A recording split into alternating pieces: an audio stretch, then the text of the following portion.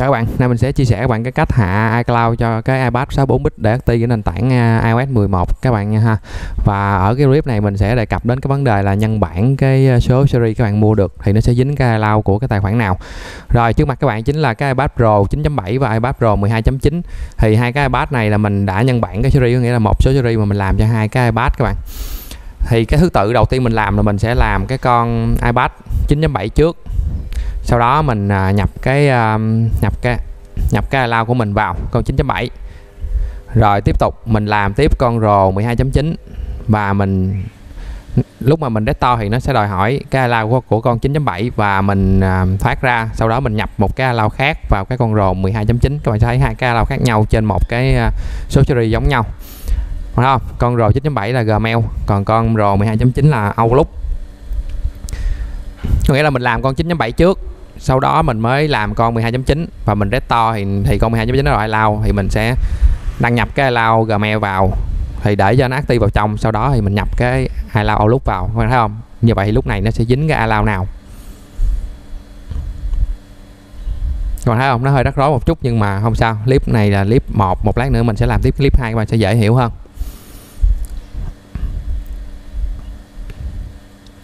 Rồi bây giờ bây giờ các bạn muốn biết nó dính ga lao nào đúng không? Các bạn nhớ thứ tự nha. Đầu tiên là mình làm cái um, Pro 12.9 mình nhập iCloud Gmail vào.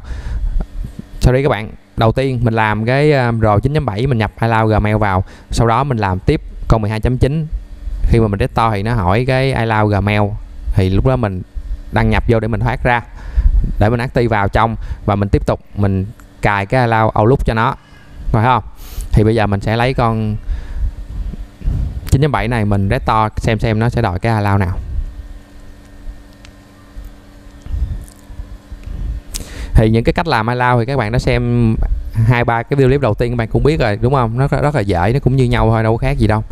Chỉ việc hạ về 32 bit, sau đó là chọn lại đúng model và chọn đúng model và nạp bút lại đúng cái model của cái máy chúng ta cần làm. Sau đó chúng ta nhập cái series 32 bit chúng ta mua vào thôi trên cái nền tảng um, 64 bit không phải 937 còn 937 thì các bạn sẽ sử dụng cái series hình như là của cái mini 2 hay sao á.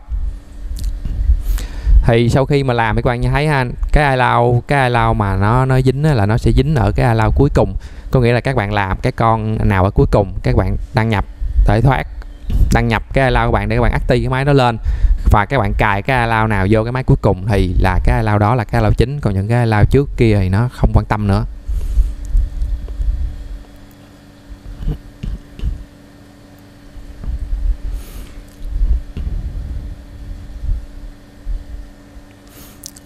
Các bạn thấy không? Cái máy này rõ ràng lúc đầu anh thấy là iCloud Gmail nè, nhưng mà khi mà mình restore lại thì các bạn thấy nó sẽ đòi cái iCloud Outlook à, có nghĩa là cái iCloud mà mình nhập vô cho cái con iPad Pro á, là cái con iPad Pro là cái con con Pro 12.9 là cái con mình làm sau con này mà, đúng không? Đó, nó lại mail Outlook còn thấy không? Rồi, thì bây giờ mình sẽ đăng nhập cái email lúc này để mình active vào trong cái máy này.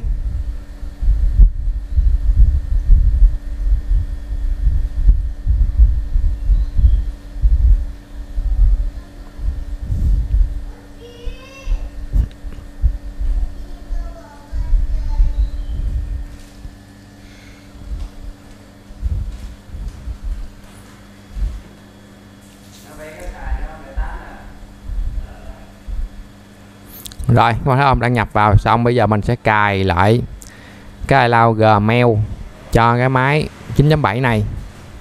Và một lát nữa mình sẽ lấy cái con Pro 12.9 mình thoát cái lao Outlook ra và mình reset lại xem nó dính cái cái lao nào. Thì nó sẽ dính cái lao Gmail này, các bạn thấy không? Cái này xác nhận hai bước thôi, không có gì hết. Rồi, như vậy các bạn hiểu không? Có nghĩa là khi mà các bạn nhân bản cái số series lên thì nó, cái iCloud nó sẽ hiểu rồi, nó sẽ hiểu cái iCloud ở cái con cuối cùng mà các bạn làm á. Các bạn đăng nhập vào, sau đó các bạn restore cái con cuối cùng, sau đó nó sẽ hỏi cái iCloud các bạn nhập iCloud các bạn vào. Sau đó các bạn cài cái iCloud nào vô cái con đó, thì cái lao đó là cái lao cuối cùng dính của cái số series đó phải không? Thì cái việc nhân bản này nói chung nó cũng rắc rối và phức tạp. Mình làm cái clip này cho các bạn xem chơi cho vui thôi. Nhưng mà ở cái thời điểm này cái số series mua cũng rẻ, nên các bạn nên là ác cho khách mỗi người một cái lao đi đừng có làm trùng chi mà ha mất công lắm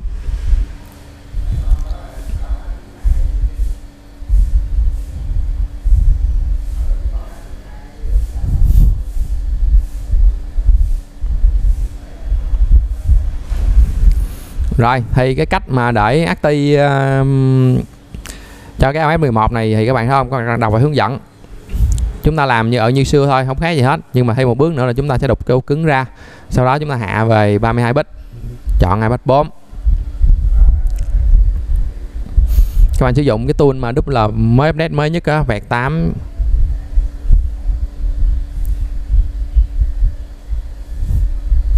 2.8.1 á.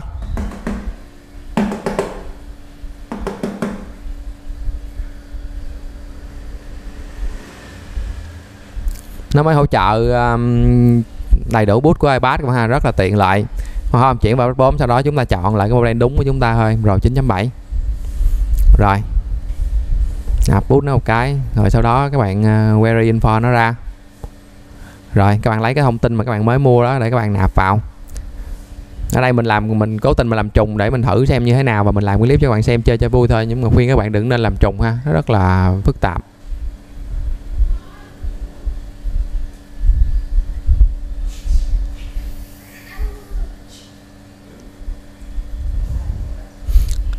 Rồi, thì nạp địa chỉ wifi và nạp địa chỉ bluetooth thôi bạn không? Có những cái con mà địa chỉ bluetooth nó khác đến hai ba số lần thì chúng ta làm sao chúng ta mò được, bắt buộc chúng ta phải đi mua thôi bạn không? Rồi, nạp như vậy là xong rồi đó, các bạn chỉ việc lấy ổ cứng ra, đóng vào lại vào cái máy và to là xong. Như vậy thì mình sẽ tạm dừng cái video clip này đây, các bạn ha. Cảm ơn các bạn theo dõi cái video này, chào các bạn, chúc các bạn thành công. Sau cái clip này các bạn muốn hiểu rõ hơn thì các bạn tiếp tục xem cái video thứ hai ha, về cái nhân bản, cái iCloud này.